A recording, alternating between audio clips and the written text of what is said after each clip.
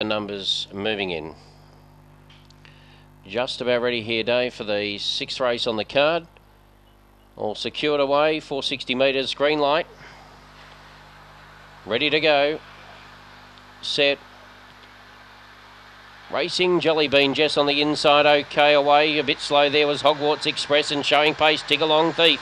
Tigalong Thief goes up on the outside to lead. Going up to second was Tiger Butch. Getting checked there, Royal Cosmic. Around the outside goes Becky Bale. Hogwarts Express up on the inside. Then came Cruisy's Empress and a long way out of it, another blue. Round the corner, Tigalong Thief stole the lead, about three lengths clear of Tiger Butch, and it's Tigalong Thief for the money.